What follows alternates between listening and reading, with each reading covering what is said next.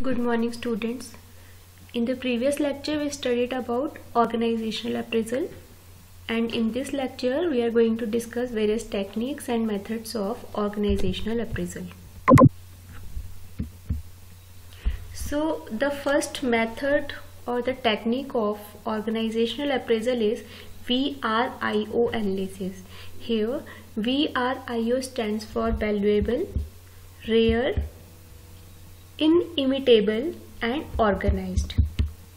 So keeping in mind the end goal to achieve a feasible competitive advantage, an asset ought to be valuable, rare, इनइमिटेबल इनइमिटेबल का मतलब है कि इसका कोई close substitute नहीं होना चाहिए अपने आप में जो है डिफरेंट यूनिक होना चाहिए इसके कॉम्पिटेटिव प्रोडक्ट से ताकि कोई भी इजीली इसको कॉपी ना कर पाए and organized I O structure is the establishment for internal analysis. So let us discuss about the valuable. An asset is significant on the off chance that it offers the association some assistance with meeting an external threat or exploit an opportunity. तो asset इस तरीके का होना चाहिए कि वो external threat को meet out कर सके या कोई भी अगर अपॉर्चुनिटी क्रिएट हो रही है तो वो उसको एक्सप्लॉयट कर सके। Okay while it may not offer the firm some assistance then the regular competitive foundation of any form is the its efficiency quality customer responsiveness and innovation on the off chance that and asset achieves any of these four things then it is important then the second quality of organization's asset is to be rare. So, a resource is rare simply if it is not widely possessed by other competitors. तो specially जो raw material है या जो technology है research and development है, अगर वो company का रेयर है तो ये भी इसका एक कॉम्पिटेटिव एडवांटेज होता है। अगर ये इसी के पास में है और इसके कॉम्पिटिटर्स के पास में नहीं है। Okay for example Coke's brand name is valuable but most of the Coke's competitors like Pepsi seven up R C also have widely recognized brand names as well, making it not that rare. So Coke एक अच्छा brand name है valuable है, लेकिन ये rare नहीं है, क्योंकि इसके जो क्लोज सब्सटीट्यूट है, वो मार्केट में ऑलरेडी अवेलेबल है। Of course Coke's brand may be the most recognize but that makes it more valuable not more rare in that case okay and the third quality of any resource is inimitable as I told you कि वो easily जो है copy copyable नहीं होना चाहिए। कोई इसको easily copy ना कर सके।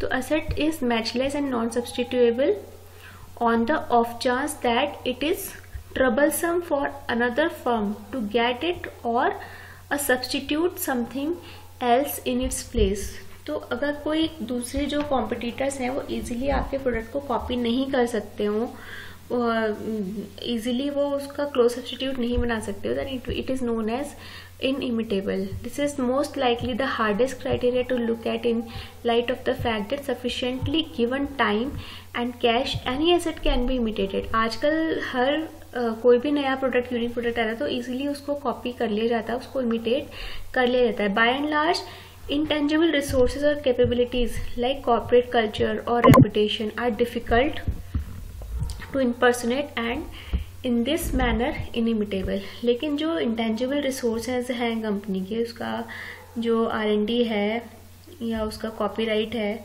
ओके okay, इसके अलावा अगर हम उसके ह्यूमन वैल्यूज़ की बात करते हैं लाइक उसका कॉर्पोरेट कल्चर है रेपुटेशन है उसको कोई पर्सन कॉपी नहीं कर सकता वो इनिमिटेबल रिसोर्स हो सकता है। ऑर्गेनाइज्ड ऑर्गेनाइज्ड की बात करते हैं तो an asset is sorted out if the firm can really utilize it for the most part organization is every now and again ignored by system in the light of that fact. It regularly manages the internal working of firms administration तो अगर organisation organise होगा well plan well systematic होगा। तो उसको manage करना बहुत easy होगा। The uplifting news is that seldom are firms not compose to misuse their significant assets और जो अगर सब कुछ सिस्टमेटिक होगा तो फर्म में कोई भी, चाहे वो कोई भी स्टेक होल्डर हो, वो एसेट्स का मिसयूज नहीं कर पाएगा। They are certain steps which is followed in this V R I O analysis to identify first is to identify the firms assets strength and weakness तो फर्म की जो भी एसेट्स हैं, उनकी स्ट्रेंथ एंड वीकनेस को identify करना। Secondly combining firms quality into the particular capacities third appraise profit potential sustainable competitive advantage ability to convert it into a profitable proposition and then the next step में हम क्या करते हैं कि हम strategy select करते हैं। Firms resources and capability related to the external opportunity and finally we identify resource gap and investigate in upgrading the weaknesses then the second technique is value chain analysis पहले में हमने VRIO discuss किया and secondly we are going to discuss the value chain analysis value chain analysis जो है इसमें basically कुछ support functions और primary activities दी गई हैं जो कि ऑर्गेनाइजेशन के लिए एसेंशियल होती हैं और ये जो दिया गया था, ये दिया था माइकल पोर्टर ने वैल्यू चेन एनालिसिस ओके ये वैल्यू चेन एनालिसिस इसमें there are four supportive activities which are firm infrastructure जिसमें उसका मैनेजमेंट फिनेंस लीगल प्लानिंग आता है। दूसरा होता है ह्यूमन रिसोर्स मैनेजमेंट जिसमें professional development employ relations performance appraisal recruiting competitive wages training programs etcetera ये सब कुछ सपोर्टिंग एक्टिविटीज़ हैं। Okay technology development then the procurement. Procurement especially of raw material inventory real time inventory communication with the supplier purchase supply and the material. So all these are the supporting functions or the support activities of any business whether it be the infrastructure human resources technology development or the procurement. But here in this uh, horizontal axis uh, there are certain primary or the main activities okay ये ऊपर जो हमने करी है, ये supportive है। Main activities में सबसे पहले आता है इनबाउंड लॉजिस्टिक जिसमें उसका पूरा इन्वेंट्री रॉ मटेरियल प्रोक्योरमेंट आता है। वेयर हाउसिंग उसकी मटेरियल हैंडलिंग ये सारी चीज़ें। दूसरा होता है ऑपरेशंस ऑपरेशंस में प्रोडक्शन प्रोसेस आते हैं, जिसमें इनपुट को आउटपुट में कन्वर्ट कर रहे हैं हम लोग। रॉ मटेरियल को फिनिश गुड में कन्वर्ट करके उसे सेलेबल इन्वेंट्री बना रहे हैं। Okay then the third is outbound logistic इसमें हम क्या करें ऑर्डर प्रोसेसिंग कर रहे हैं और फुल डिलीवरी कर रहे हैं।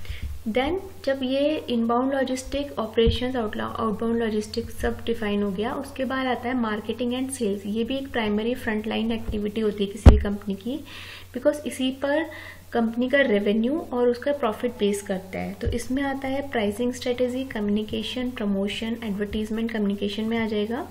then the product based on uh, community needs and low prices. All these are the marketing and sales activities which are the primary function of any organization. Then the service. Service mein aayega after sale services like delivery or mm, uh, at the time of sale also there are certain services like delivery installation repair okay customer service focus all these things. तो ये सब पाँच essential exercises हैं, इनको हम one by one discuss करेंगे। First is the inbound logistic inbound logistics are exercises worried with getting putting way and circulating inputs to the product or service, including the material handling stock control transportation and so forth ये सारी activities हमारी inbound logistic में आती हैं। ठीक है, जो कि इनपुट से रिलेटेड है। इनपुट को कैसे प्रोक्योर करना है, किस तरह से उसको मैनेज करना है, कैसे उसे स्टोर करना है, कैसे उसे हैंडल करना है, ये सारी एक्टिविटीज़ इसमें material handling warehousing stock control ये सारी एक्टिविटीज़ आ रही हैं। How the how to get the material stored and dispersed input to the to a product in the production process then comes the operation ये भी हमारी supporting function ये भी हमारा एक सॉरी प्राइमरी एक्टिविटी है। इसमें it changes this input into the final product जैसे मैंने आपको बताया था, इसमें पूरा प्रोडक्शन प्रोसेस आता है जो कि इनपुट को आउटपुट में कन्वर्ट कर रहा है, यानी कि फाइनल प्रोडक्ट या सर्विस में कन्वर्ट कर रहा है। इसमें machining bundling get together testing ये सारी एक्टिविटीज़ इसमें आ रही हैं। Then comes the outbound logistic outbound logistic gather store disperse the product to the client finally जब प्रोडक्शन हो चुका है, हमारा रॉ मटेरियल या इनपुट हमारे फिनिश गुड्स में कन्वर्ट हो चुका है फाइनल प्रोडक्ट में, तब हम फाइनल प्रोडक्ट को किस तरह से स्टोर करें, उसकी वेयर हाउसिंग कैसे करें मटेरियल हैंडलिंग डिस्ट्रीब्यूशन ये सारी एक्टिविटीज़ हम कैसे हैंडल कर रहे हैं। Then the fourth primary function is the marketing and sales okay इसमें आएगा आपका how uh, how we successfully advertise and uh, make the promotional campaign for the communication of the product in the market with the customers.